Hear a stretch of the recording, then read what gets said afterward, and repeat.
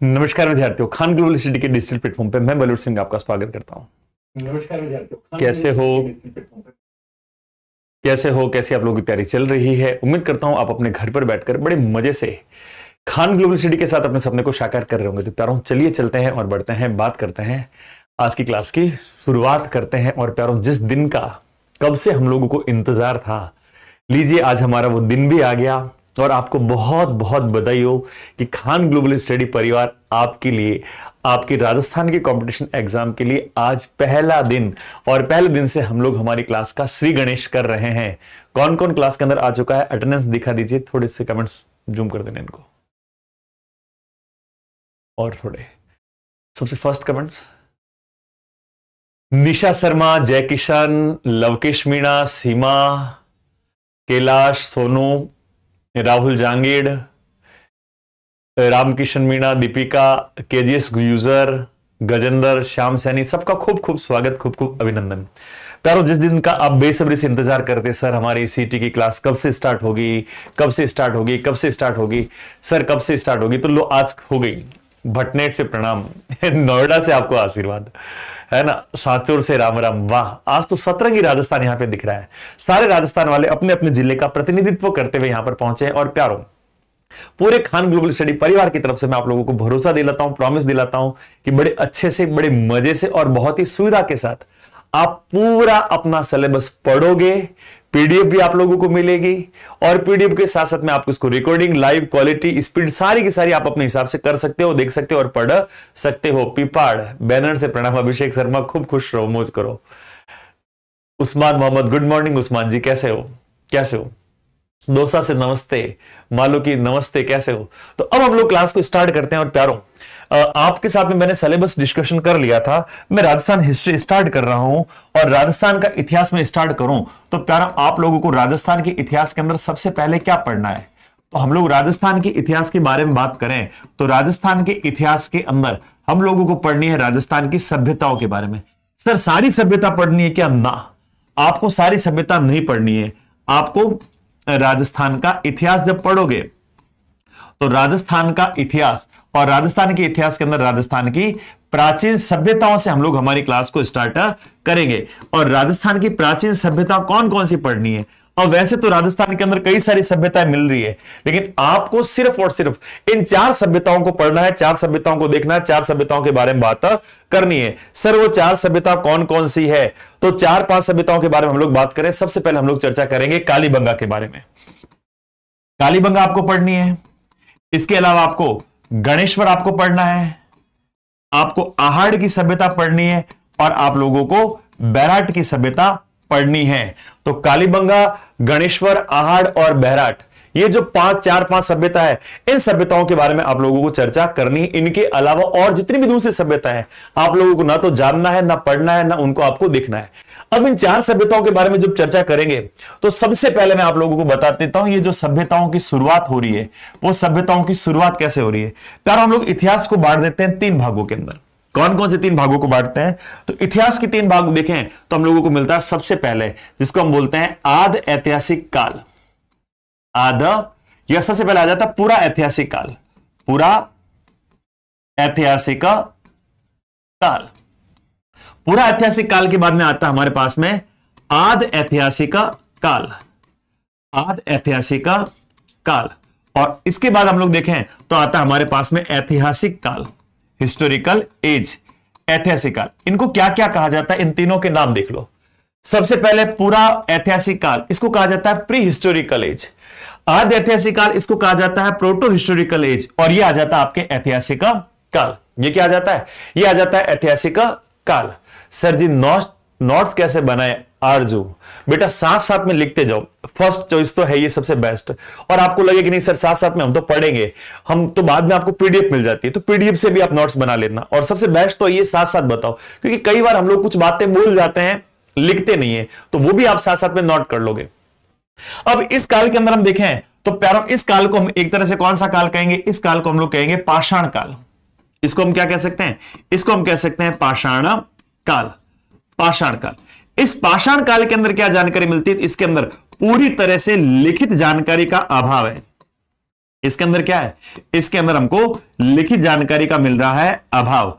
अब इसी पाषाण काल को हम लोग तीन भागों के अंदर बांट देते हैं।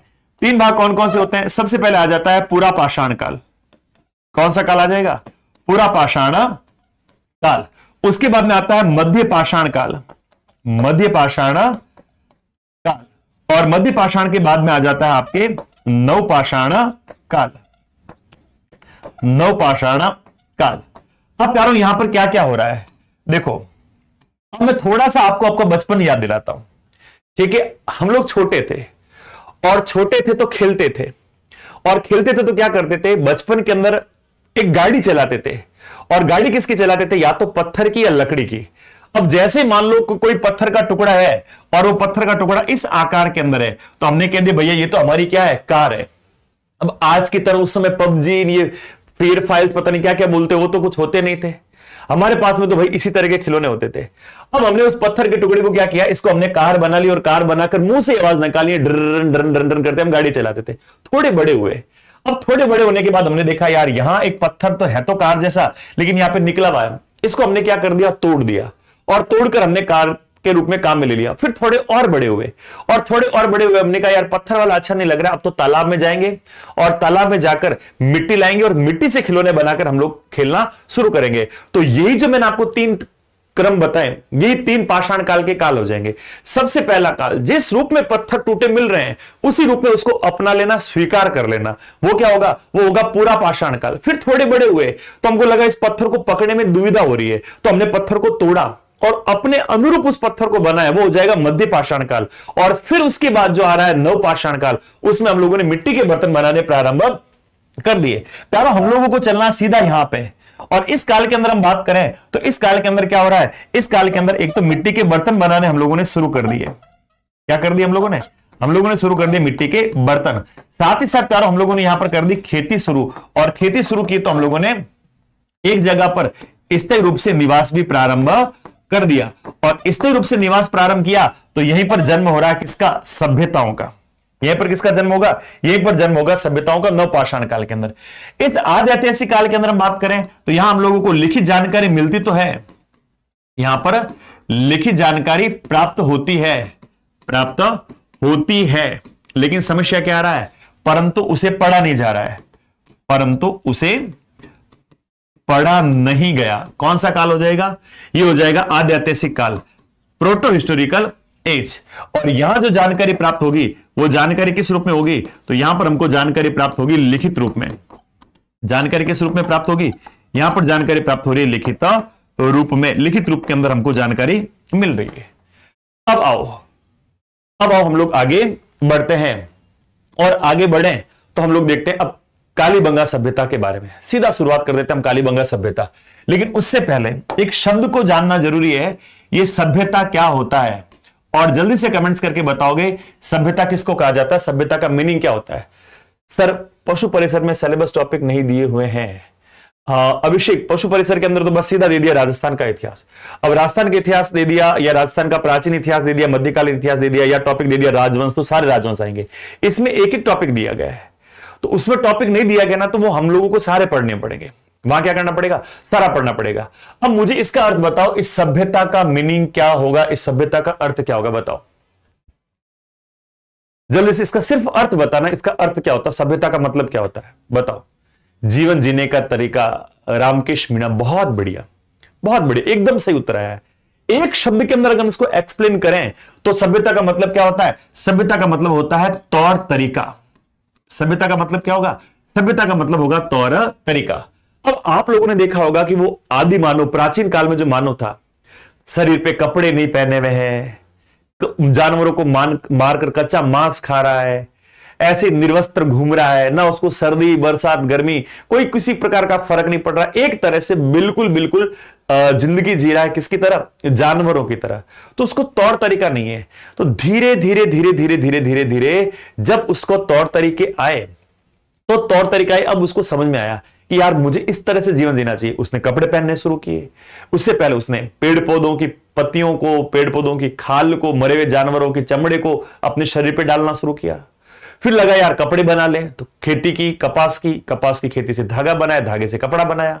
फिर उसके बाद उसने कहा, यार, अब एक जगह से दूसरी जगह घूम रहे हैं, कहीं एक जगह रहना तो सीखे तो उसने रहना भी सीखा। पहले कुत्तों की तरह, जानवरों को तरह ज़मीन के अंदर बिल बनाए।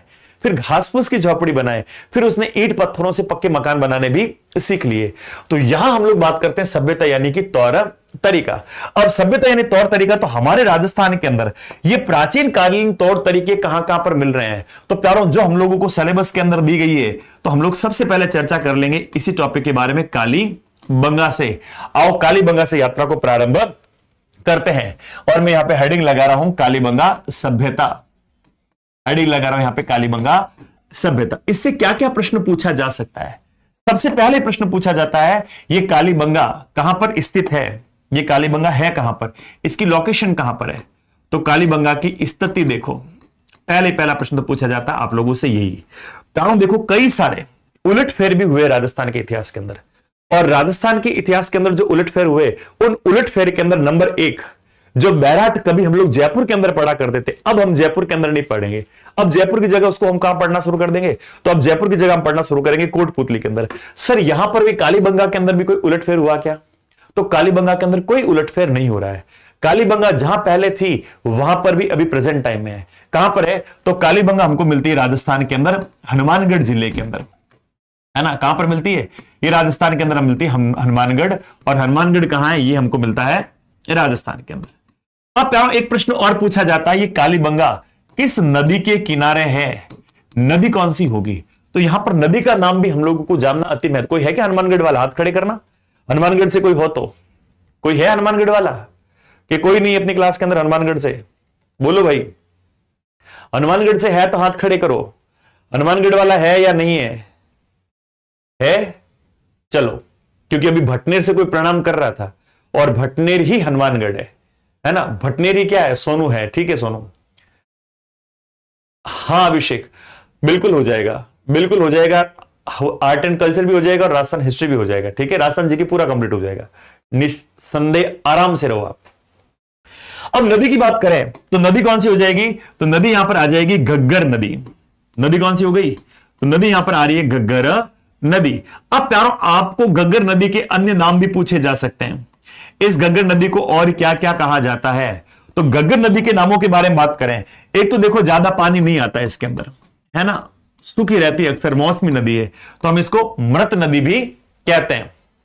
इसको क्या कहा जा सकता है? इसको मृत नदी भी कहा जा सकता है। फिर हम लोग मृत नदी के बारे में बात, बात की। फिर हम लोग बात करें सेकंड नंबर पे। अंजलि माली। अंजलि तुम पुराने स्टूडेंट लग रही हो मुझे क्योंकि ये नाम याद आ रहा है अंजलि राजसमंद से है ना? बिल्कुल। मृत नदी के अलावा इसका हम लोगों को वेदों के अंदर नाम क्या मिलता है? इसको कहा जाता है द्रसदती नदी द्रसदती नदी। इसके बाद तीस नंबर पे हम लोग बात करें तो तीस नंबर पे हमको इसका क्या नाम मिलेगा? तो इसी को कहा जाता है सरस्वती नदी। इसी को क्या कहा जाता है? इसी को कहा जाता है सरस्वती नदी। प्यारों, बरसात के समय कई बार इसके अंदर बहुत ज़्यादा बाढ़ आ जाती है। और बरसात के समय जब इसके अंदर बहुत ज़्यादा बाढ़ आ जाती है तो इस वजह से इसको कहा जाता है नट नदी। नटा नदी। और यह नदी जब आगे पाकिस्तान के अंदर प्रवेश कर जाती है तो पाकिस्तान के अंदर प्रवेश करने के बाद इस नदी को क्या कहा जाता है? इसको कहा जाता है हकरा नदी। इसको क्या कहा जाएगा? इसको कहा जाएगा हकरा नदी। में तो आज मोड़ा हो गया। तो मोड़ा हो गया ना तो ऐसा कुटाई हो जाएगी यहाँ पे। मोड़ा मत आया करो, बेगा आया करो, वरना सीट मिलेगी एकदम पीछे पीछे। ठीक है? तो कालो मोड़ा थोड़ा उड़ लीजिए टेम मत आवनो है टेम मत आन हेंगो आगे बैठना है।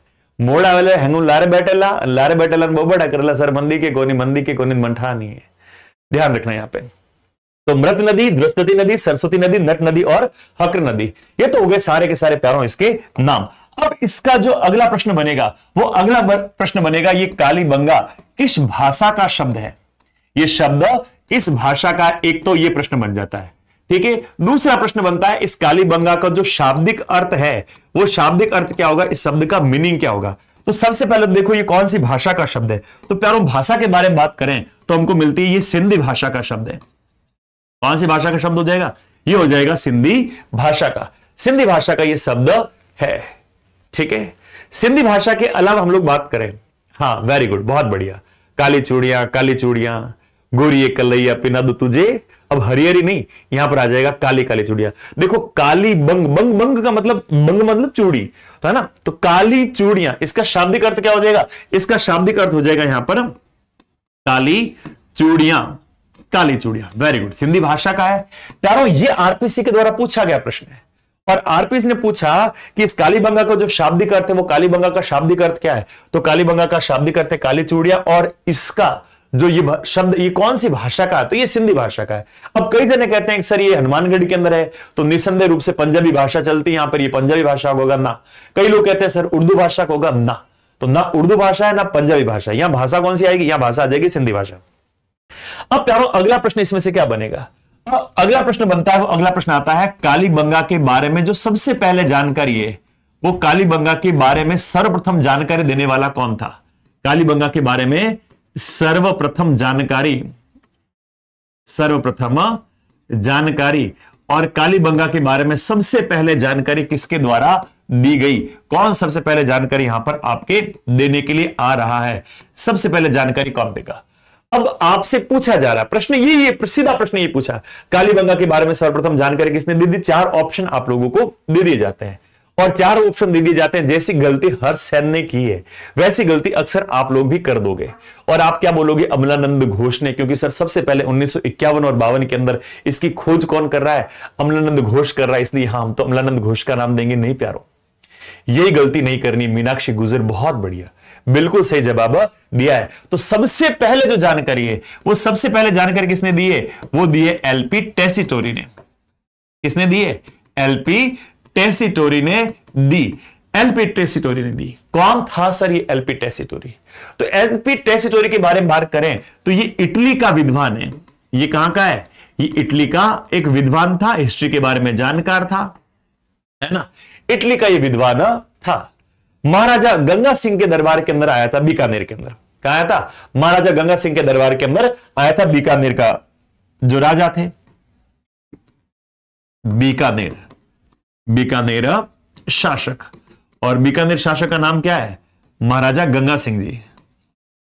महाराजा गंगा सिंह के दरबार में ये आया था। महाराजा गंगा सिंह के दरबार के अंदर ये आया। ओके जी, ठीक है। अभिषेक शर्मा, इसमें सभी टॉपिक के फोल्डर नहीं बनेंगे। इसमें एप्लीकेशन के अंदर क्या होगा? आप देखोगे, जैसे मेरा नाम आया तो आपको लिखा हुआ गया Balveer sir Rajasthan history by Balveer sir. अब जैसे उसके अंदर आप जाओगे तो उसके अंदर आपको मिल जाएगा कालीबंगा सभ्यता, बैराट की सभ्यता, वो अलग अलग पूरा पूरा क्लास मिल जाएगी। बिल्कुल नाम लिखी हुई, उसी क्लास के नीचे, उस क्लास की पीडीएफ और फिर जब हम प्रिंट नोट्स भी देंगे आपको, चिंता मत करो प्रिंट नोट भी आपको अवेलेबल करवा जाएँगे तो प्रिंटेबल जो नोट्स होंगे, वो प्रिंटेबल नोट्स भी आपको उसी क्लास के नीचे, उसी क्लास के नीचे नोट्स और उसी क्लास के नीचे आपको पीडीएफ मिल जाएगी। दोनों चीज़ आपको वहीं साथ साथ में मिल जाएगी। है ना, अच्छी बात? तो नोट्स के भी भटकना नहीं पड़ेगा, आपने क्लास ओपन की उसी क्लास के नीचे उस क्लास की पीडीएफ भी पिन हुई हुई है और उसी क्लास के नीचे उस क्लास के नोट्स भी पिन हुए हुए हैं। दोनों आपको उसी क्लास के नीचे मिल जाएँगे। ठीक है? दोनों चीज़ें मिलेंगे। अलग अलग फोल्डर टीचर वाइज फोल्डर बनेंगे। टीचर के हिसाब से अलग अलग फोल्डर आपको मिल जाएँगे। बलवीर सर का ये अमित सर का ये, जितेंद्र सोनी सर का ये, सबका अलग अलग अपना अपना फोल्डर मिलेगा साइंस का ये रीजनिंग का ये, सबका अलग अलग फोल्डर मिलेगा। और उसके अंदर उनकी क्लासों के बिल्कुल नाम लिखे मिलेंगे, ये वो क्लास है डेट के हिसाब से। डेट के हिसाब से आपको इतना बढ़िया फीचर्स मिलेगा ना, मैंने आपको भरोसा दिलाया ना, आप निश्चित रहो, आप गारंटी के साथ में रहो, आपको दुनिया की जो एप्लीकेशन उनसे सबसे ईजी सबसे सरल और सबसे बढ़िया यही मिलेगा। ठीक है? सोनो, एक तो खाना पका पकाया मिलता है, और एक खाना बना के खाए, दोनों के अंदर अंतर होता ना। तो पका पका इतना स्वादिष्ट नहीं होता जितना खाना बना के खाने में स्वाद आता है। एक पापा की कमाई और एक खुद की कमाई। फ़र्क है कि नहीं है? तो अब नोट तो हम दे देंगे, लेकिन वो मज़ा नहीं आएगा जो मज़ा आप अपने नोट्स हाथों से बनाओगे। तो खुद के नोट्स से आप बहुत इजी और बहुत अच्छे से पढ़े कर पाओगे तो खुद बनाओ नोट्स। तो बीकानेर के शासक हो गए यहाँ पर महाराजा गंगा सिंह जी, और गंगा सिंह के दरबार के अंदर एल्पिटोसिटोरी आया था। लेकिन प्यारों, जो असली प्रश्न आता है, वो प्रश्न आता है, कालीबंगा की खोज किसने की? प्रश्न क्या आता है? वो प्रश्न आता है, कालीबंगा की खोज किसके द्वारा की जा रही है? कौन कह रहा है ये कालीबंगा इस हड़प्पा सभ्यता का एक भाग था? ये भी हड़प्पा सभ्यता के साथ में आ रहा है। तो कालीबंगा की जो खोज हो रही है, वो कालीबंगा की खोज हो रही है उन्नीस सौ के अंदर। कब हो रही है? उन्नीस सौ बावन के अंदर। और खोज करने वाला व्यक्ति कौन है? तो खोज करने वाले व्यक्ति का नाम मिलता हम लोगों को अमलानंद घोष। किसका नाम मिलेगा? यहाँ पर नाम मिल जाता हम लोगों को अमलानंद घोष का नाम मिलेगा। अमलानंद घोष इसकी क्या कर रहे हैं? खोज कर रहे हैं। ठीक है, अमलानंद घोष तो खोज खुजा के बैठ गए। अब इसकी खुदाई का काम किसके द्वारा किया जाएगा? तो कालीबंगा का उत्खनन। अगला प्रश्न क्या आएगा? अगला प्रश्न हमारे पास में आता है कि कालीबंगा का जो उत्खनन का काम हुआ है, वो कालीबंगा का उत्खनन यानी खुदाई, वो कालीबंगा का उत्खनन का कार्य कौन कर रहा है? कालीबंगा की खुदाई का काम कौन कर रहा है? तो कालीबंगा के उत्खनन के अंदर याद रखना। उत्खनन के अंदर दो व्यक्तियों के नाम आएँगे। और दो व्यक्तियों के नाम किसके आएँगे? एक तो नाम आएगा बनवारी लाल का, है ना? बीबी लाल, और एक आता है बाल कृष्ण थापर, जिसको हम बीकी थापर बोलते हैं। तो नंबर एक, यहाँ पर आ जाएगा आपके पास में बनवारी लाल। और दूसरा कौन आएगा? दूसरा आ जाएगा आप यहाँ पर बाल कृष्ण थापर, बीबी लाल और बीके थापर। अब इसका समय भी आपको याद रखना। और इसके समय के बारे में बात करें, इसका समय मिलता हम लोगों को 1961 से लेकर उन्नीस तक। है ना? सर, बताइए ना, खान सर भी आएँगे। सब आएँगे आपके। खान सर रेगुलर क्लास तो नहीं लेंगे, लेकिन तुमको बीच बीच के अंदर कभी तुमसे मिलने के लिए ज़रूर ज़रूर आएँगे। ठीक है? हाई हेलो करने के लिए तुम्हारे यहाँ पे बीच के अंदर उपस्थित हो जाएँगे। अब प्यारो, एक प्रश्न और बनता है। और प्रश्न बनता है, इस काली बंगा को और किस नाम से जाना जाता है? इस काली बंगा का अन्य जो नाम है वो काली बंगा को और क्या क्या कहा जाता है? अभी आपने काली चूड़ियाँ बताया, वो मत बताना यहाँ पर कोई भी। इसलिए मैं पहले बता देता हूँ, कोई काली चूड़ी यहाँ पर नहीं बताए। तो इसका मतलब क्या, इसको क्या कहा जाता है? तो काली बंगा को कहा जाता है दीनहीन की बस्ती क्या कहा जाएगा इसको? इसको कहा जाता है दीनहीन की बस्ती दीनहीन की बस्ती या हम कहें तो सर इसका मतलब क्या होगा? इसका मतलब होता है, इसको कहा गया, ये किसकी बस्ती है? कि गरीबों की बस्ती है। क्यों सर? क्या देख लिया यहाँ पर कि इसको गरीबों की बस्ती कह दिया? इसको गरीबों की बस्ती क्यों कहा गया है? कारण क्या है? जय किशन, ये तुम्हारा प्यार है। ये तुम्हारा प्यार है। सर जी कंप्लीट पीडीएफ के साथ दे दीजिएगा। जो हुक्म मेरे आका और मेरा ये प्राण ले लो तुम सारे के सारे। मैंने तुमको क्या कहा? तुमको बहुत अच्छे से मिलेगा, सब कुछ मिलेगा, तुम चिंता मत करो। तुम मुझे तुम मुझे, मेरे क्या, मेरे पे भरोसा है? विश्वास है? तो आप कुछ दिन देके देखो। और कुछ दिन समय का देके देखोगे ना तो आपको खुद को पता चलेगा सर वास्तव में आप सही कह रहे थे। है ना? सप्ताहिक टेस्ट, टॉपिक खत्म होने के बाद उसका टेस्ट लेंगे। हिमांशु, इसके लिए थोड़ा टाइम लगेगा। है ना? आपका इंग्लिश मीडियम है क्या हिमांशु? देखो, इंग्लिश मीडियम के लिए मैं अभी आपको हाथों हाथ तो नहीं कह सकता, लेकिन हिंदी के अंदर तुरंत प्रोवाइड हो जाएँगे। इंग्लिश के अंदर आपको तुरंत नहीं कह सकता। इंग्लिश के लिए वेट करना पड़ेगा। ठीक है प्यारे? अब बात को सुनो। तो काली बंगा का अन्य नाम क्या? दीन इनकी बस्ती कहा जाता है। और दीन इनकी बस्ती कहने के पीछे कारण क्या है? इसको दीन इनकी बस्ती क्यों कहा जाता है? गरीबों की बस्ती क्यों कहा जाता है? उसके पीछे के कारण के बारे में बात करें तो इसको दीन इनकी बस्ती इसलिए कहा जाता है क्योंकि यहाँ पर जो घरों का निर्माण है, वो घरों का निर्माण किससे हुआ है? तो यहाँ पर घरों का निर्माण हुआ है कच्ची ईंटों से। किससे हो रहा है? घरों का निर्माण हो रहा है कच्ची ईंटों से। कच्ची ईंटों से यहाँ पर घर बन रहे हैं। तो कह दिया रे, देखो बिचारों के पास में। पैसे ही नहीं थे कि पक्की ईंटों से घर बना सके, है ना? और पक्की ईंटों से घर बना सके तो इनको कह दिया ये क्या है? ये तो बेचारे गरीब लोग हैं। है ना? सर, आप पढ़ा, सर, आप बढ़िया पढ़ाते हो, लेकिन साथ में पटवारी की तैयारी हो जाए। अरे, तुम्हारी पटवारी की, आर एस की एलडीसी की, कांस्टेबल की, मास्टर की सबकी हो जाएगी, तुम चिंता मत करो। तो घरों का निर्माण किससे हो रहा है? घरों का निर्माण हो रहा है कच्ची ईंटों से। लो भाई, घर का मुहूर्त तो हम लोगों ने कर दिया। अब घर बनाने के लिए क्या चाहिए? पैसा चाहिए। घर बनाने के लिए सबसे पहले क्या चाहिए? पैसा चाहिए। तो आओ पैसा लेकर आते हैं। तो हम लोगों को यहाँ से एक सिक्का मिल रहा है। और कालीबंगा से एक सिक्का मिल रहा है। कालीबंगा से क्या हुआ? कालीबंगा से एक मुद्रा प्राप्त हुई। मुद्रा का मतलब क्या होगा? सिक्का होगा, मोहर नहीं होगा। सिक्का प्राप्त होता है। और कालीबंगा से जो सिक्का प्राप्त होता है, उस सिक्के के दो पहलू होते हैं। कालीबंगा के होते हैं कि और भी सब जगह के होते हैं? सब जगह के होते हैं। दो पहलू कौन कौन से होते हैं? एक तो होता है हेड और एक होता है टेल, यानी सिक्के का एक तरफा भाग। सिक्के के एक तरफ़ एक तरफ़, और दूसरा हो जाएगा सिक्के के दूसरी तरफ़। सिक्के के दूसरी तरफ़। एक तरफ़ क्या मिल रहा है और दूसरी तरफ़ क्या मिल रहा है? यह थोड़ा सा हम लोगों को जानना ज़रूरी रह जाएगा। तो सिक्के के एक तरफ़ हम बात करें तो यहाँ तो हम लोगों को मिलता है मात्र देवी का चित्र। सुनना मेरी बात को। एक तरफ़ तो क्या मिल रहा है? एक तरफ़ हम लोगों को मिल रहा है मात्र देवी का चित्र। और दूसरी तरफ़ हम लोगों को मिल रहा है बाघ। या हम लोग कहें तो व्याघ्र का चित्र। किसका चित्र? बाघ या व्याघ्र का चित्र हम लोगों को मिल रहा है। अब आपकी परीक्षा के अंदर प्रश्न आ जाता है। और परीक्षा के अंदर प्रश्न क्या आता है? काली बंगा से किसकी मूर्ति नहीं मिली है? सुनना। प्रश्न को सुनना। यह प्रश्न आ जाता है, निम्न स्थान में से सिंधु सभ्यता के निम्न स्थानों में से कहाँ पर मात्र देवी की मूर्ति नहीं मिलती है? तो काली देवी, काली बंगा से मात्र देवी की मूर्ति नहीं मिलती है। अब कोई विद्वान उठकर खड़ा होगा और कहेगा, सर, फिर ये क्या लिखा आपने? ये एक एक चर्चा चली थी मेरी इस प्रश्न पे। मैंने कहा निम्न में से मात्र देवी की मूर्ति कहाँ से प्राप्त नहीं होती है? तो मात्र देवी की मूर्ति सिंधु सभ्यता का केवल एक ही स्थान है, जहाँ से प्राप्त नहीं हो रही वो कौन सा है? वो हमारे राजस्थान का कालीबंगा है। वो कौन सा है?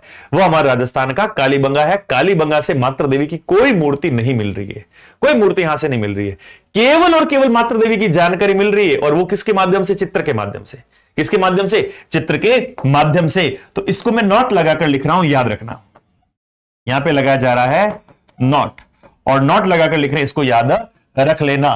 काली बंगा से, सिंधु सभ्यता में, ऐसे लिखते हैं। सिंधु सभ्यता के के स्थलों में कालीबंगा से कालीबंगा से मात्र देवी की मात्र देवी की मूर्ति नहीं मिलती है। मूर्ति नहीं मिलती है। मात्र देवी की कोई मूर्ति हम लोगों को यहाँ से नहीं मिलती है। मात्र देवी का केवल और केवल क्या है? हमको चित्र मिला है। केवल और केवल क्या है? चित्र हम लोगों को यहाँ से प्राप्त हो रहा है। चित्र के बारे में हम लोगों को जानकारी प्राप्त हो रही है। साथ ही प्यार, हम लोग कालीबंगा से जानकारी प्राप्त करें। तो कालीबंगा से एक पशुपालन की जानकारी प्राप्त हो रही है। और कालीबंगा से एक पशु की जानकारी प्राप्त हुई है। बताइए, कौन से पशु की जानकारी यहाँ से प्राप्त हो रही है?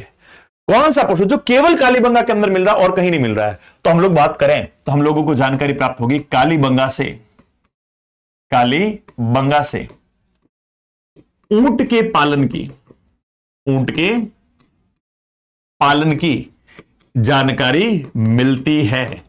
ऊँट के पालन की जानकारी हम लोगों को यहाँ से मिलती है। ऊँट का पालन यहाँ पर किया जा रहा था ऊँट को ये लोग पालते थे। अब राजस्थान का जहाज़ है और राजस्थान का जहाज़ यहाँ पे नहीं पाला जाएगा तो कहाँ पर? बुल अरे बुल नहीं बुल नहीं। बुल तो सब जगह पर मिल रहा है, सुनील कुमार।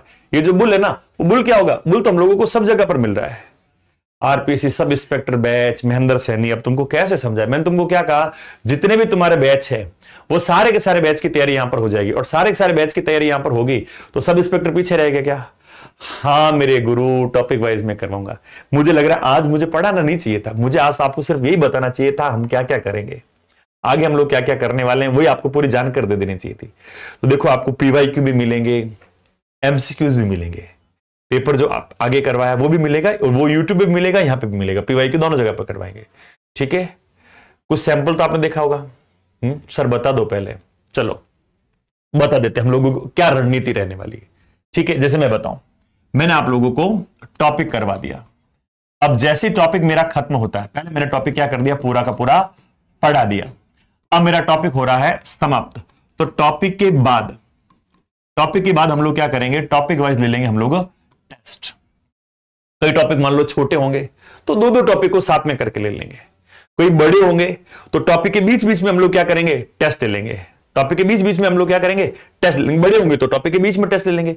और छोटे होंगे तो हम लोग दो दो को साथ में लेंगे। टेस्ट होगा। साथ ही साथ आपको जो इसकी पीडीएफ है, वो आपको पीडीएफ मिलेगी। और साथ ही साथ आपको जो नोट्स है, वो नोट्स भी आप लोगों को मिलेंगे। लिखे हुए प्रिंटेबल नोट्स भी आप लोगों को मिल जाएँगे। और कई चीज़ें। घना के और चीज़ें। बोलो ना।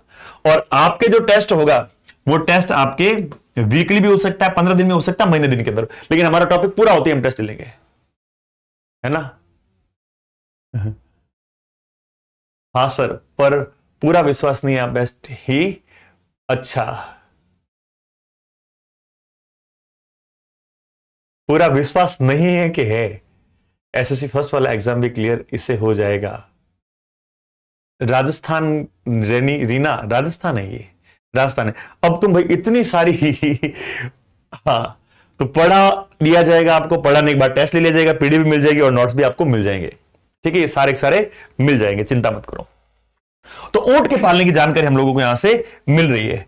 अब ऊँट के पालन के अलावा हम लोग बात करें तो प्यारो हम लोग बात करें, हम लोग यहाँ पर नालियाँ मिल रही है। और जो यहाँ से नालियाँ मिली है, वो नालियाँ कैसे मिली है? तो नालियाँ मिल रही हम लोगों को लकड़ी की नालियाँ। कैसे नालियाँ मिली है? लकड़ी की नालियाँ। केवल और केवल यहीं से लकड़ी लकड़ी की नालियाँ प्राप्त होती है। प्राप्त होती है। सर लकड़ी की नाली कैसे बनी थी? तो क्या कर दिया था? पेड़ का जो तना था, यहाँ पर क्या किया जा रहा है? यहाँ पर पेड़ का जो तना था, उस पेड़ के तने को क्या कर दिया? पेड़ के तने को कर दिया खोखला। और पेड़ के तने को खोखला करके इसको किस रूप में उपयोग में लिया जा रहा है? तो पेड़ के तने को खोखला करके इसको काम में लिया जा रहा है। किस रूप में? इसको बना दिया है नाली के रूप में। नाली के रूप में, नाली के रूप में। अब मेरी बात को और सुनना। अब ये जो नाली है, इस नाली का उपयोग किस रूप में हो रहा है? तो इस नाली का उपयोग किया जा रहा है, जो वर्षा जल था, वो छत से छत से वर्षा जल वर्षा जल की निकासी के लिए, निकासी हेतु इसका उपयोग किया जा रहा है। इसको काम में लिया जा रहा है। छत से बरसात का जो पानी आ रहा है उस छत से क्या किया जा रहा है? बरसात का पानी यहाँ पर निकालने का काम हो रहा है। तो इसको भी यहाँ पर क्या किया, नाली के रूप में यहाँ पर काम में लिया जा रहा है। फिर प्यारो, हम लोग कालीबंगा के बारे में और बात करें तो कालीबंगा से हम लोगों को और क्या क्या जानकारी मिल रही है। एक हम लोग बात करें, मकान का निर्माण किससे हुआ है? तो मकान का निर्माण यहाँ पर हम लोगों ने फ़र्स्ट लाइन में पढ़ लिया था, मकान का निर्माण हो रहा है यहाँ पर कच्ची ईटों से। किससे हो रहा है? पक्की ईट यहाँ पर नहीं मिली है, केवल और केवल यहाँ से मिल रही है हम लोगों को कच्ची ईट, कच्ची ईटों से, कच्ची ईटों से। अब आपको एक चीज़ और पूछ ली जाती है। और क्या पूछा जाता है? आपसे पूछा जाता है, इन ईटों का आकार क्या है? यहाँ से जो ईंटें मिली है, उन ईटों का आकार क्या है? ईटों का आकार देख लेना, ईटों का आकार क्या मिलता है? तो ईटों के आकार के बारे में बात करें, ईटों का आकार मिलता है चार अनुपात तीन अनुपात दो। चार अनुपात तीन अनुपात दो का मतलब क्या है? ये तो चार क्या है? ये तो हो जाएगी इसकी लंबाई। तीन हो जाएगी इसकी चौड़ाई। और दो हो जाएगी इसकी ऊंचाई। जैसे मान लिया जाए, कोई ईट तीन सेंटीमीटर है तो उस ईट की चौड़ाई कितनी होगी? पंद्रह सेंटीमीटर। और उसकी ऊंचाई कितनी होगी? तो उसकी ऊंचाई हो जाएगी साढ़े सात मीटर साढ़े सात सेंटीमीटर। कितनी हो जाएगी? साढ़े सात मीटर। ठीक है?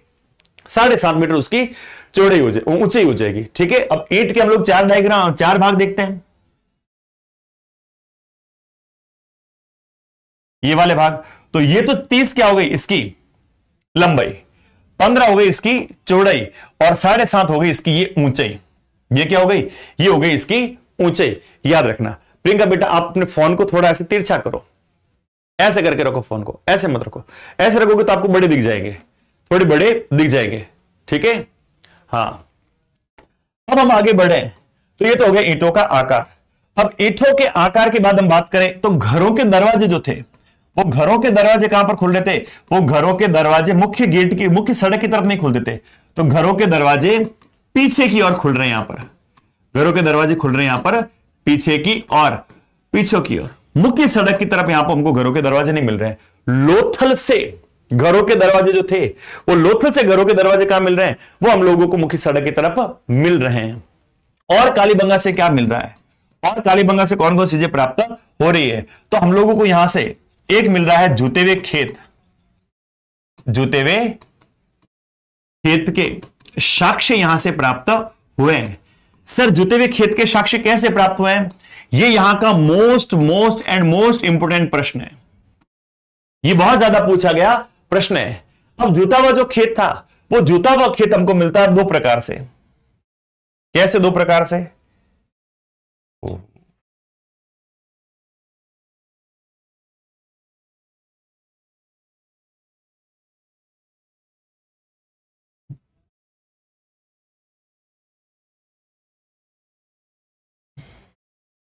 एक एक खींचनी पड़ेगी क्योंकि तीन खींचते ये सोचता मैं साफ़ कर रहा हूँ।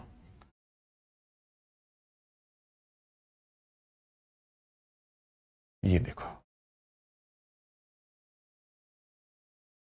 चलो, समझ गए ना?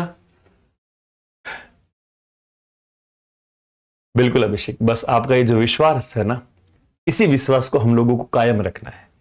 और इसी विश्वास को कायम रखने के लिए हम दिन रात लगे हुए हैं आप लोगों के लिए। और मैं आपको प्रॉमिस देता हूँ यहाँ से कि आपका कभी भी ये जो विश्वास, इस विश्वास को टूटने नहीं देंगे। ये आपका निरंतर विश्वास जो है वो कायम रहेगा, इसी प्रकार से आपका विश्वास बना रहेगा। अब मेरी बात को सुनो। यहाँ जो जूते हुए खेत है, वो जूते हुए खेत कैसे थे? दो प्रकार से जूते हुए थे। यानी ये दोहरे जूते हुए खेत मिल रहे हैं। क्या जूते हुए खेत मिल रहे हैं? यहाँ से हम लोगों को दोहरे जूते हुए, दोहरे जूते हुए खेत प्राप्त हुए हैं। प्राप्त हुए हैं। यानी ये लोग एक ही समय में क्या कर रहे हैं? दो फ़सलों को उगा रहे हैं।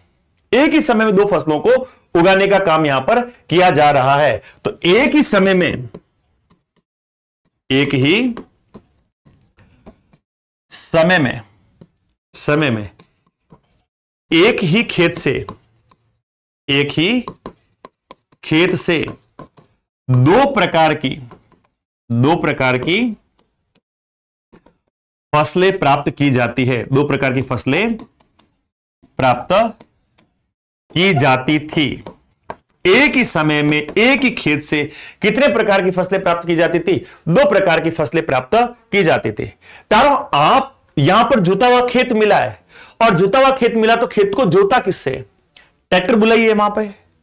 हाथों से जोत दिया है, किससे जोता गया हल से जोता गया है। लेकिन हल कैसा बना था? लकड़ी का। तो सर पता कैसे चला लकड़ी का हल मिला है? तो यहीं से हम लोगों को लकड़ी के हल की जानकारी मिल रही है। लकड़ी का हल भी मिल रहा है। परीक्षा के अंदर पूछा जाता है, हल का दो प्रश्न। एक तो मिट्टी का हल मिला है बनावली, हरियाणा से। बनावली, हरियाणा से तो मिल रहा हम लोगों को मिट्टी का हल। देखो, जैसे मैं बता रहा हूँ ना, कई बातें हम बोलते हैं, लिखते नहीं तो मैं हरियाणा वाले बात सिर्फ़ बोल रहा हूँ। लिखने तो आप नोट लगा के लिखते जाना साथ साथ में। बनावली हरियाणा से हमको केवल और केवल एक हल का मॉडल या खिलौना मिला है। लेकिन यहाँ से जो हल मिल रहा है, वो हम लोगों को लकड़ी का हल मिल रहा है, इसको याद रखना। तो हम लोग बात करें। काली बंगा से, काली बंगा से लकड़ी की नालियाँ भी मिली और लकड़ी का हल भी हम लोगों को मिल रहा है। लकड़ी का हल हमको मिला है। लकड़ी का हल मिला। लकड़ी का हल मिला। यह भी याद रख लेना।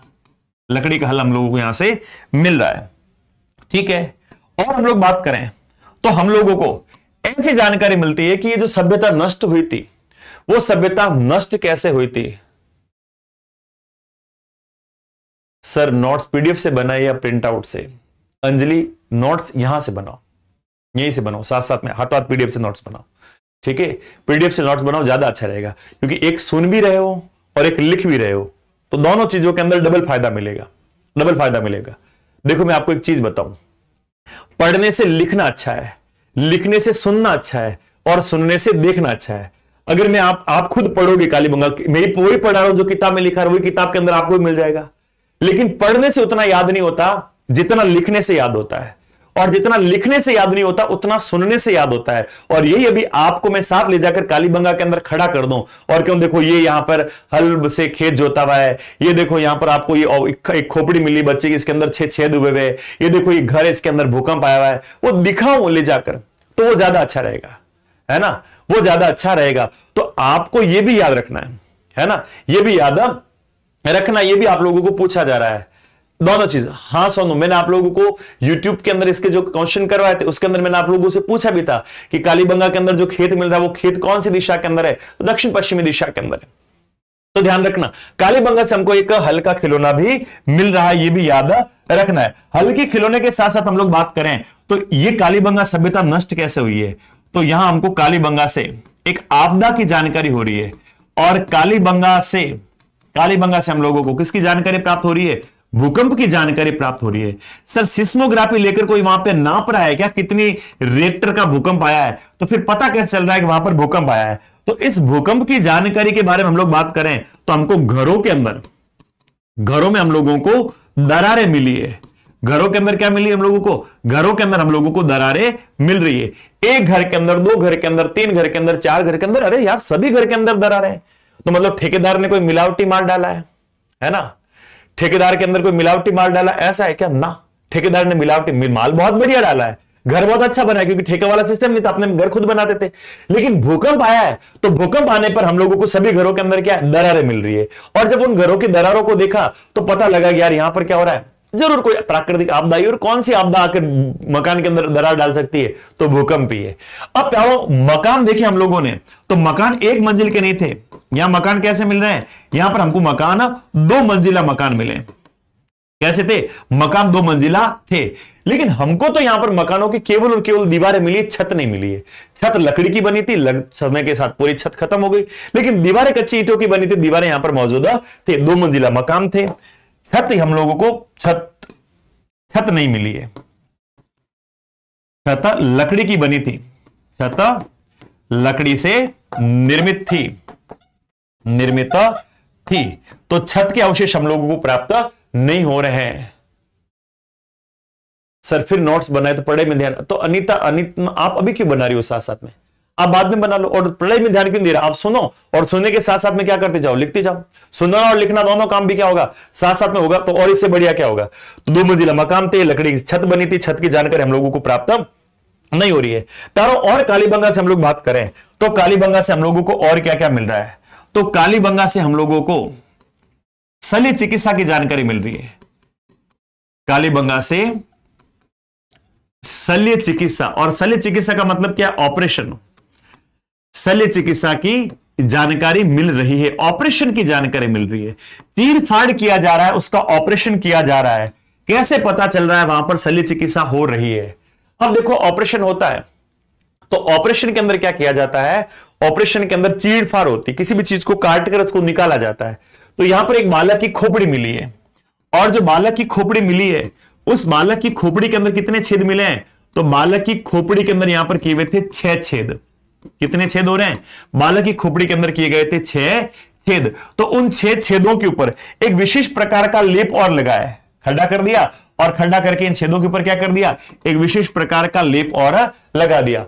आपको यह मत पूछना कि वो बच्चा सही हुआ या खत्म हो गया, ये जानकारी नहीं मिली है। बच्चा बच्चा है कि मरा है कि ये हमको नहीं मिला? हमको खोपड़ी मिली और खोपड़ी के अंदर क्या किया गया था? छेद किया गया था। उस छेद की जानकारी हम लोगों को यहाँ से क्या हो रही है? प्राप्त हो रही है। बस, हमारे लिए इतना काफ़ी है। कई कई विद्वानों को होता है कि सर वो बच्चा बच गया था नहीं बचा था? उस बच्चे को क्या हुआ आगे चलकर? ना। इतना डीपली मत जाओ तुम। हमको खोपड़ी मिली, खोपड़ी के अंदर छेद छेद थे, उन छेद को एक विशेष प्रकार के लेप से क्या किया गया था? भरा गया था। ये हम लोगों को जानकर यहाँ से प्राप्त हो रही है। साथ ही साथ प्यारो, हम लोग बात करें और कालीबंगा से। तो कालीबंगा से हम लोगों को मिल रहा है एक तांबे का बैल। और यहाँ से हम लोगों को तांबे की बैल की आकृति मिल रही है। तांबे की बैल की आकृति भी हम लोगों को यहाँ से प्राप्त हुई। एक तांबे का बैल हम लोगों को यहाँ से प्राप्त हो रहा है। साथ ही साथ प्यारो, हम लोगों को एक और मुद्रा मिली है, मोर मिली है, और उस मोर के ऊपर एक पंक्षी अपने पंख को फैलाए हुए है। तो एक मोर मिली है, और मोहर पर, मोर पर, पक्षी, कौन सा पक्षी? संभवतः वो बगुला पक्षी था, और बगुला पक्षी पंखों को फैलाए, बैठा बैठा। बैठा। इस प्रकार के हम लोगों को मोर पर बगुला पक्षी पंख फैलाए बैठा। ये हम लोगों को यहाँ पर क्या हो रहा है? एक चित्र और मिल रहा है। इस चित्र को भी हम लोगों को याद रखना है। अच्छा आपको यहाँ से अग्नि की उपासना की जानकारी प्राप्त हो रही है। तो काली बंगा के अंदर अग्नि की उपासना हो रही है, अग्नि की पूजा हो रही है। और अग्नि की उपासना, अग्नि की पूजा हो रही है। इसका उदाहरण क्या है? तो इसके उदाहरण के बारे में बात करें तो हम लोगों को यहाँ से सात यज्ञ वेदियाँ प्राप्त हो रही है। क्या मिल रहा है? सात यज्ञ वेदियाँ ये यज्ञ वेदियाँ को क्या कहा जाएगा? इनको कहा जाएगा हवन कुंड। तो हम लोगों को यहाँ से सात हवन कुंड भी मिल रहे हैं। सात हवन कुंड की भी हम लोगों को यहाँ से जानकारी प्राप्त हो रही है। अच्छा जब पूजा पाठ के बारे में बात कर ही रहे हो तो सर ये भी बता दो कि यहाँ पर बलि प्रथा होती थी कि नहीं होती थी? बलि प्रथा का प्रचलन था या नहीं था? तो बलि प्रथा का प्रचलन था। और बलि प्रथा का प्रचलन था कैसे मान लें कि यहाँ पर बलि दी जाती थी? तो एक मोर मिल रही है और उस मोर के ऊपर एक आगे आदमी चल रहा है और उस आदमी के पीछे पीछे एक और जानवर चल रहा है और उस जानवर के चेहरे के ऊपर थोड़ा भैंसा दिख रहा है। तो हम लोग कहेंगे यहाँ पर कौन सी प्रथा प्रचलन में थी? तो बलि प्रथा का प्रचलन था। कालीबंगा के अंदर बलि प्रथा का प्रचलन था। बलि प्रथा यहाँ पर थी। और बलि प्रथा थी तो कैसे पता चल रहा है? तो पत, पता चल रहा है एक एक आदमी मुहर पर, एक आदमी एक आदमी, पशु को आगे लेकर, पशु को पशु को लेकर लेकर जा रहा है, जा रहा है। इसका चित्रांकन हुआ हुआ है। इसका चित्रांकन मिलता है। एक आदमी आगे आगे जा रहा है और उस आदमी के पीछे पीछे क्या कर रहा है? एक कोई जानवर और चल रहा है। तो उस आदमी उस जानवर को कहाँ लेकर जाएगा? भूकंप से हुई थी, हर हर्षित थोड़े पीछे चल रहे भूकंप पीछे रह गया। भूकंप पीछे रह गया। अब आगे बढ़ गए अब आगे बढ़ गए ठीक है? तो मुँह पर एक आदमी आदमी पे अपने पीछे पीछे क्या कर रहा है? किसी जानवर को लेकर जा रहा है। ये भी हम लोगों को जानकारी कालीबंगा से प्राप्त हो रही है। क्या यहाँ के कालीबंगा के लोगों का जो प्रिय पशु था, वो कालीबंगा के लोगों का प्रिय पशु क्या था? कालीबंगा के लोगों का प्रिय पशु, सबसे प्रिय जानवर कौन सा था इनका? प्रिय पशु कौन सा था? तो सबसे प्रिय पशु की बात करें तो इनका फेवरेट जो पशु है, वो ऊँट नहीं है, वो कौन सा है? वो एक कुत्ता है। सर, कैसे मान लोगे कुत्ता इनका फेवरेट पशु था? तो इंसान को जब दफनाया गया है तो इंसान को दफनाने के साथ साथ में क्या किया गया है? कुत्ते को भी साथ में दफनाया गया है। है ना? कुत्ते भी को भी क्या गया मानव के साथ में दफना दिया गया। अब यहाँ की दो बातें हो गई। दो बातें कैसे हो गई? सर, आदमी के साथ ही साथ कुत्ता मर गया क्या? ये तो कोई जानकारी नहीं मिली कि उसी दिन मरा के बाद में मरा। उसी दिन दफनाया बाद में दफनाया गया। लेकिन जहाँ इंसान की कब्र है, उस इंसान की कब्र के साथ में क्या किया जा रहा है? कुत्ते को दफनाया जा रहा है। ये हम लोगों को जानकारी प्राप्त हो रही है। तो ये जानकारी हम लोगों को देखनी होगी। तो नॉट लगाकर लिख रहे हैं यहाँ पर। नॉट। तो हम लोग यहाँ पर देखें इंसान के साथ। इन, इंसान के साथ। कुत्ते को दफनाने को। कुत्ते को दफनाने का साक्ष्य। कुत्ते को दफनाने का साक्ष्य प्राप्त हो रहा है। साक्ष्य प्राप्त होता है। अब कोई दिमाग में ये मत लाना अक्सर सती प्रथा थी क्या जो इंसान मरा और उसके पीछे पीछे क्या कर दिया? कुत्ते को भी उसके पीछे सती कर दिया। ना, इतना दिमाग लगाने की आवश्यकता नहीं है। अब कुत्ता पहले मरा, आदमी पहले मरा तो तुमको एग्ज़ाम के अंदर ये नहीं पूछा जाएगा। ये एग्ज़ाम के अंदर ज़रूर पूछा जाएगा कि इंसान के साथ किस जानवर को दफनाया जा रहा है। तो निसंदेह रूप से उसका पालतू पशु था और जब इंसान की मृत्यु हुई तो उसके बाद में उसके कुत्ते को भी उसके साथ साथ में वह कब्र के अंदर दफना दिया जाता है। इस बात की हम लोगों को जानकारी यहाँ से प्राप्त हो रही है। ठीक है? बहुत बढ़िया। अब यहाँ से कुछ लिखित जानकारियाँ मिल रही है, लेकिन लिखित जानकारी को हम पढ़ नहीं पा रहे हैं। तो लिखित जानकारी को पढ़ नहीं पा रहे तो मैंने क्लास की स्टार्टिंग के अंदर बताया था, ये आपको प्रोटो हिस्टोरिकल एज का भाग होगा, जिसको हम बोलते हैं, ये आध ऐतिहासिक युग का हिस्सा रहेगा। क्यों? क्योंकि लिपि मिली तो है, लेकिन लिपि को अभी तक पढ़ने के अंदर हम सफल नहीं हो पाए और उसका कारण क्या है? उसका कारण यही है कि लिपि का जो स्वरूप है, वो कालीबंगा की लिपि देखो कैसी होगी। तो कालीबंगा की लिपि, है ना? कालीबंगा की लिपि, किस प्रकार की लिपि हम लोगों को यहाँ से मिल रही है? तो लिपि मिल रही है हम लोगों को सर्पाकार। कैसे लिपि मिल रही है? सर्पाकार। इस सर्पाकार को हम क्या कह सकते हैं? इसको हम कह सकते हैं गोमूत्राकार। क्या कह सकते हैं? गोमूत्राकार। और इसके बारे में पता लगाने वाला व्यक्ति था, उसका नाम था वेस्तो फैदन इस चीज़ को कहा जाता है वेस्तो फैदन लिपि। क्या कहा जा सकता है? वेस्तो फैदन लिपि। ये तीनों नाम एक ही होंगे। सर, इसको सर्पाकार क्यों कहा जाता है? सांप के आकार की है। और सांप कैसे चलता है? ऐसे लहरा के बल खा के सुना है ना आप लोगों ने? बिल्कुल ऐसे ही। तो ये ये इसके लिखने का स्टाइल होगा। कैसे? एक लाइन ऐसे गई, दूसरी लाइन कैसे आई, फिर इधर आई, फिर तीसरी लाइन वापस इधर गई, चौथी लाइन वापस ऐसे। ऐसे करके इनके द्वारा क्या किया जा रहा है? लिखा जा रहा है। यानी सीधे से उल्टा और वापस उल्टे से ये लाइन शुरू कर रहे हैं।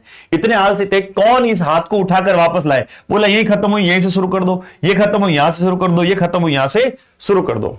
ठीक है? सर गोमूत्राकार का मतलब क्या होगा? अंतिमा।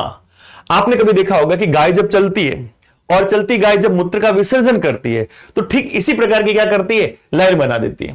है ना? सर, आप सारे नोट्स एक साथ अपलोड करना हमारे घर से। बाज़ार दूर है, इसलिए एक बार प्रिंट निकलवाएँगे प्लीज़ तो प्रिया, अगर नोट्स साथ में अपडेट हो, साथ में डलवाएँ या बाद में डलवाएँ? तो प्रिंट निकलवाना तो तुम्हारे हाथ में, अगर एक एक डलवा देते हैं, और तो तुम एक साथ निकलवाना, ज़रूर थोड़ी कि एक निकला तुम जाओ, एक डलवाया, तुम जाओ निकलवाने के लिए उसको, है? ये तो अपने हाथ की बात है कि नहीं है? यार, ये भी कैसा क्वेश्चन हुआ कि सर बाद में डलवाना ताकि एक साथ। तो तुम एक साथ निकलवा देना, मना कौन कर रहा है? मैं कसम थोड़ी दिलवाऊँगा कि आज मेरे नोट्स दिलवाए तुमको कसम है, जाओ आज के आज प्रिंट निकलवा के लाऊं। ऐसा कहूँगा कि तुमको? बताओ। तुम्हारे घर की बात निकलवाओ तो निकलवाओ, मत निकलवाओ, तुम्हारी इच्छा है। एक साथ निकलवाओ, किस्तों में निकलवाओ, पूरे जितने भी सब्जेक्ट है, उनके एक साथ निकलवाओ। हद हो गई। तो सुनो तो ये लिपि कैसी हो गई? ये लिपि हो गई सर्पाकार, गोमूत्राकार इसको हम कहेंगे व्यस्तो फैदन लिपि, सर, ये पटना चल रही है क्या? नहीं, नोएडा चल रही है। मंडे से अपने वापस जोधपुर से स्टार्ट कर देंगे, ठीक है? अभी अभी एक यही है तो यहीं से क्लास चल रही है। ठीक है? सर, लेक्चर टच करते हैं तो पोज हो जाता छेड़खानी कर क्यों रहे हो? फ़ोन को सामने रख दो, चुपचाप पड़ा रहेगा। है ना? अब ये भी मैं समझाऊं, तुमको कैसे पढ़ना है, कैसे नहीं पढ़ना है। फ़ोन को सामने रख दो। अब इसको टच करोगे यूट्यूब नहीं चलाया तुमने कभी। अब यूट्यूब चलाते, फ़ोन को टच कर दो तो यूट्यूब नहीं रुकता क्या तुम्हारा? हद्दे भाई। तो ये ये चीज़ और याद रखना। तो इस लिपि को अभी तक हम पढ़ नहीं पाए हैं। तो हम लोग बात करें, इसे पढ़ने में, इसे पढ़ने में अभी सफलता नहीं मिली है। सफलता नहीं मिली है। इसको अभी हम पढ़ नहीं पाए। ठीक है, पढ़ने में हमको कोई सफलता यहाँ पे प्राप्त नहीं हुई है। एक हमको याद रखना होगा, यहाँ पर हमको अंतिम संस्कार की तीन विधियाँ मिली है। और कालीबंगा के अंदर जो अंतिम संस्कार की तीन विधियाँ मिली है, वो अंतिम संस्कार की विधि कौन सी थी? कालीबंगा के अंदर अंतिम संस्कार किस प्रकार से किया जाता था? तो अंतिम संस्कार किया जा रहा है तीन विधियों द्वारा। है ना? अंतिम संस्कार तीन विधियों द्वारा होता था। तीन विधियों द्वारा होता था।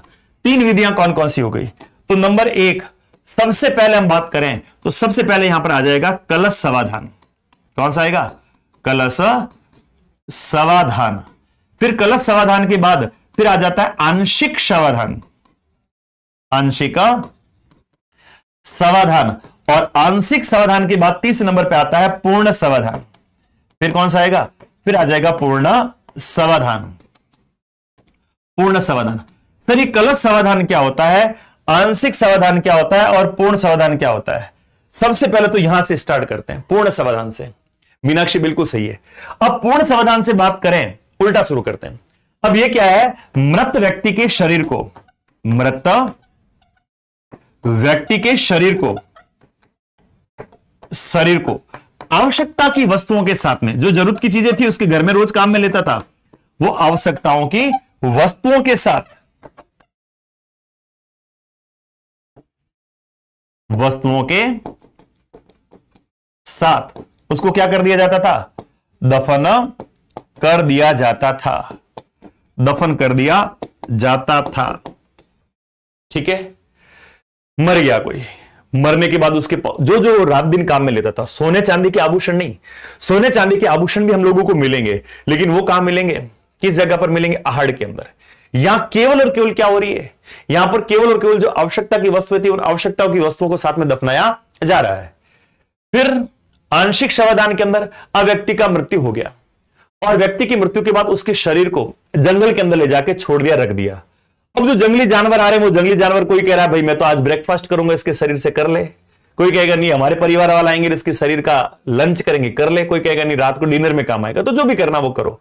तो जो जंगली जानवर थे, वो जंगली जानवर आकर उसके शरीर से जो जो उनको अंग चाहिए था या खाना होता था, वो खा पी के उसको शरीर को खत्म करते थे पीछे पीछे हड्डियाँ बच जाती थी। अब फिर कई विद्वान दिमाग लगाएँगे। सर, वो जानवर उसके शरीर को एक जगह थोड़ी खाएँगे।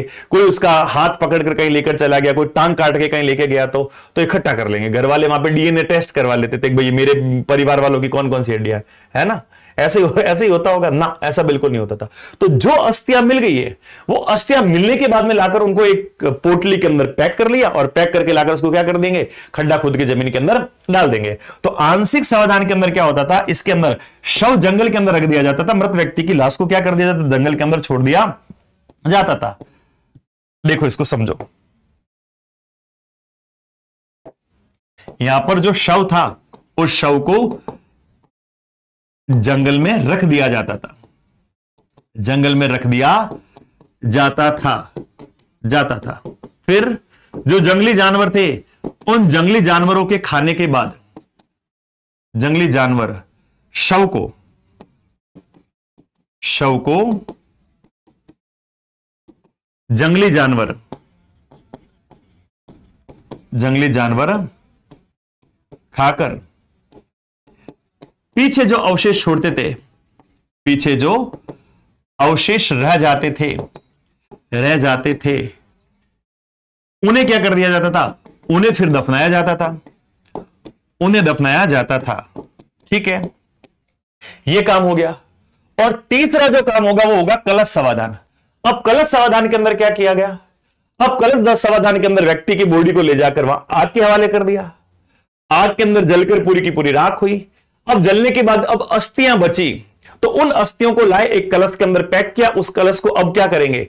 सर, गले में डालकर हरिद्वार लेके जाएँगे। ना, उस समय हरिद्वार वाला सिस्टम नहीं होता था। तो वो जो कलश था, उस कलश को अब क्या किया जाएगा? खड्डा खोद के ज़मीन के अंदर डाल दिया जाएगा। यानी इसमें उस सव का क्या किया जाएगा? उस लाश का क्या किया जाएगा? तो यहाँ पर उस लाश का अग्नि संस्कार किया जाएगा। तो शव को अग्नि में जलाकर, अग्नि में जलाकर नष्ट किया जाता था। नष्ट किया जाता था। किया जाता था। उससे बची हुई अस्थियों को उससे बची हुई अस्थियों को क्या करते हैं? तो उससे बची हुई अस्थियों को कलश में डालकर, कलश में डालकर डालकर दफनाया जाता था। दफनाया जाता था। यह हो जाएगा कलश समाधान। कलश के अंदर हड्डियाँ डाली और कलश के अंदर हड्डियाँ डालकर उसको क्या कर दिया? अब ज़मीन के अंदर डालकर रख दिया। रख दिया। सर मैथमेटिक कौन से सर पढ़ाएँगे?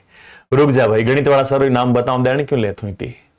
है ना? जयंद में आ गया, भाई ढोल बजाओ रही है, जिमेश आ गया, स्वागत कर दो इसका। है ना? अभी बैंड मंगाइए बेटा, बस दो मिनट इंतज़ार कर। है ना? ऑर्डर दिया हुआ आ रहा डीजी विजय सब आ रहे हैं।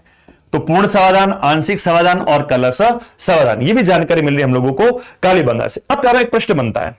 और प्रश्न क्या बनता है? प्रश्न बनता है, ये कालीबंगा नगरीय सभ्यता थी या ग्रामीण सभ्यता थी? ये बता दो। तो प्यारो, हम लोग बात करें कालीबंगा के बारे में। तो जो सिंधु सभ्यता का पार्ट होगी, वो सारी की सारी सभ्यता कैसी होगी? तो कालीबंगा एक शहरी सभ्यता थी। ये सभ्यता कैसी है? ये नगरीय सभ्यता है। यहाँ पर हमको गाँव नहीं मिले, यहाँ पर हमको क्या हो रहा है? शहर मिल रहा है। ठीक है? उसके बाद हम लोग बात करें तो प्यारो, हम लोगों को जानकारी मिल रही है कि ये जो कालीबंगा थी, ये कालीबंगा मात्र सतात्मक है या पितृ सतात्मक है? मैटरनल है या पैटर्नल? ये सभ्यता कैसी होगी? तो प्यारो, इसके बारे में बात करें तो यहाँ पर क्या सभ्यता की जानकारी मिल रही है? यहाँ पर हमको मिल रही है, ये मात्र सतात्मक है। कैसी है? मात्र सतात्मक है। मम्मी यहाँ की मुखिया है। जैसे अपने राशन कार्ड वो बने ना भामाशाह कार्ड जनधन कार्ड, और जनधन कार्ड के अंदर पापा परिवार के मुखिया नहीं है। जनधन कार्ड के अंदर परिवार के मुखिया किसको बनाया गया है? माँ को। मात्र सतात्मकता की और अग्रसर है हमारी सरकार। अभी परिवारों को राशन कार्ड के ऊपर देखो, परिवार की महिला मुखिया बनी। है पहले पिताजी का नाम ऊपर आता था, अब माताजी का नाम ऊपर आया माताजी के नाम से राशन कार्ड बन रहे हैं। तो लड़कियों, हो गया नहीं? हो गया तुम्हारे फ़ायदा। तुम जाते ससुराल के अंदर, क्या होती? मुखिया बन जाओगे अब। ठीक है? तो ये क्या है? ये मात्र सतात्मक है। कैसे पता चल रहा है? जगह जगह हम लोगों को माताओं की मूर्तियाँ मिल रही है। कालीबंगा के अंदर तो नहीं मिली, लेकिन चित्र मिल गया। कालीबंगा के अंदर मूर्ति नहीं मिली तो क्या हो गया? सिक्के के ऊपर चित्र मिल गया, मात्र देवी का चित्र मिलना हम लोगों को, मुद्रा के ऊपर स्टार्टिंग के अंदर बात की थी। तो यहाँ से चित्र हम लोगों को मिल गया। अच्छा और कालीबंगा के अंदर जो परिवार है, वो परिवार कैसा है? न्यूक्लियर फैमिली है या ज्वाइंट फैमिली एकल परिवार है या संयुक्त परिवार है? तो प्यारो, यहाँ जब हम बात करेंगे, देखेंगे तो हमने कहा कि जो लोग अपने घरों की सड़कें, घरों के दरवाजे मुख्य सड़कों की तरफ़ नहीं खोल रहे हैं। तो बताओ, वो अपने परिवार के अंदर किसी प्रकार का कोई दखल अंदाजी चाहेंगे क्या? और संयुक्त परिवार के अंदर हो दखल अंदाजी होती नई नई विचारों की शादी होती, लेकिन मिलना सिर्फ़ राम को होता है, क्योंकि बीच के अंदर भतीजे बहन भाई भाभी चाची पता नहीं कौन कौन वो पूरा परिवार, बड़ा परिवार। तो ये लोग कहेंगे, ना डोंट डिस्टर्ब मी कोई किसी प्रकार का कोई डिस्टर्बेंस अपने को नहीं चाहिए। तो मुझे अकेले रहना है। एकांत, बाहर वाला, रोड वाला व्यक्ति जा रहा, परिवार के अंदर झाँक कर ना देखे तो सड़कें इधर खोल दी। मेन गेट की तरफ़, मेन रोड की तरफ़ इन्होंने सड़कें तक नहीं खोली है। तो परिवार कैसा है? परिवार है प्यारो, यहाँ पर एकल परिवार। एकल परिवार। लेकिन एक जानकारी आप लोगों को यहाँ पर बहुत हैरानी करने वाली मिल रही है। यहाँ पर हम लोगों को घरों के अंदर एक बहुत बड़ा तंदूर मिला है। और तंदूर मिला रोटी बनाने वाला। और उस तंदूर को देखेंगे तो एक जने के लिए इतना बड़ा तंदूर चाहिए नहीं। तो इसका मतलब है तो अकेले, लेकिन कभी कभी ये क्या करते हैं? सामूहिक भोज का आयोजन करते हैं। और सामूहिक भोज का आयोजन करने, इसलिए कालीबंगा से हम लोगों को तंदूर की जानकारी मिल रही है। सुन लेना। कालीबंगा से किसकी जानकारी मिल रही है? तो कालीबंगा से हम लोगों को तंदूर की जानकारी मिल रही है। ये याद रखना, कालीबंगा से कालीबंगा से तंदूरी चूल्हे की, तंदूरी चूल्हे की जानकारी भी हम लोगों को यहाँ से मिलती है। जानकारी हम लोगों को यहाँ से मिल रही है। यह भी याद रखना है। यह भी हम लोगों को देखना होगा। इसके बारे में हम लोगों को बात करना होगा। अच्छा एक प्रश्न और।